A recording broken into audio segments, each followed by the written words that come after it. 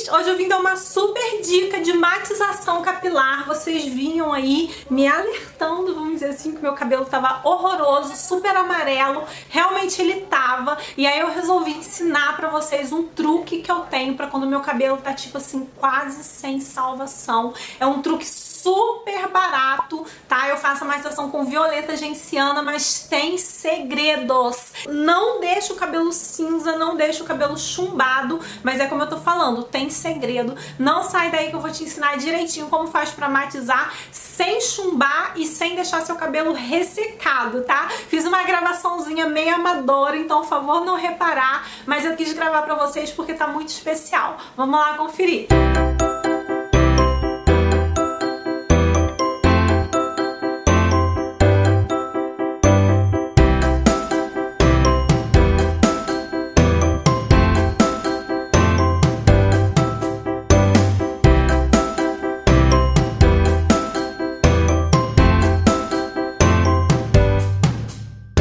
E aí eu vou mergulhar o meu cabelo aqui dentro, tá, gente? Olha como esse cabelo tá amarelo, gente. Além de sujo, ele tá amarelo. Eu vou só enfiar o meu cabelo ali dentro. Peraí que eu esqueci de pegar a toalha. Então, ó, tá vendo meu cabelinho? Estou abaixando aqui de cabeça pra baixo e vou enfiar a cabeça toda no tanque. Molhar o cabelo todo até a raiz.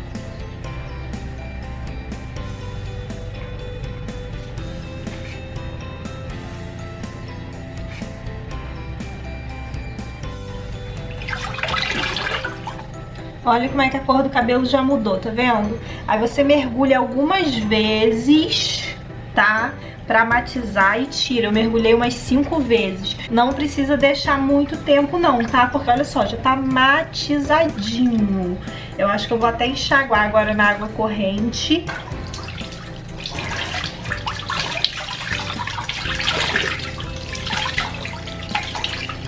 Ó, o cabelo já tá totalmente matizado, gente.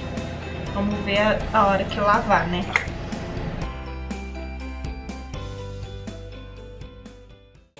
lógico que depois você vai fazer uma hidratação, né? Você vai fazer uma hidratação potente depois. Ela não resseca? Não resseca. Mas depois de toda a matização, você tem que fazer um tratamento de hidratação, colocar suas cutículas no lugar, sabe? Aí a cor fica mais uniforme. Vou até deixar pra vocês aqui embaixo as minhas máscaras preferidas pra hidratação, pra você fazer depois aí da sua matização. E esse é o resultado que a matização dá no cabelo. Olha como o cabelo fica com uma cor muito boa, não fica cinza demais. É claro que se você quiser mais cinza, é só você colocar mais violeta na água, mas eu não recomendo, tá, gente? Eu recomendo que você faça desse jeito que eu tô te ensinando, porque ela é ruim de sair. Vou até complementar, então, essas dicas que eu te dei aí, te falando que não exagere na quantidade de violeta genciana, senão seu cabelo vai ficar roxo.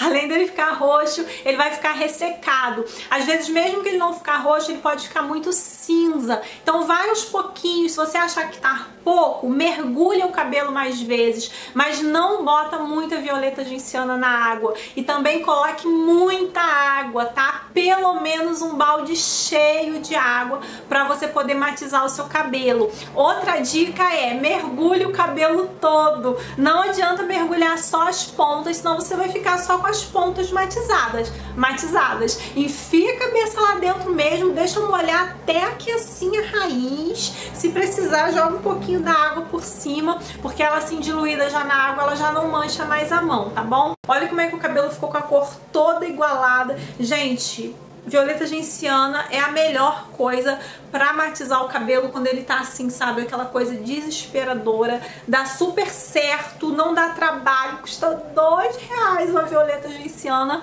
Então não deixa de fazer. E foi isso, espero muito que vocês tenham gostado dessa dica de matização. Um beijo, fiquem com Deus. Um beijo, fiquem com Deus, até o próximo vídeo.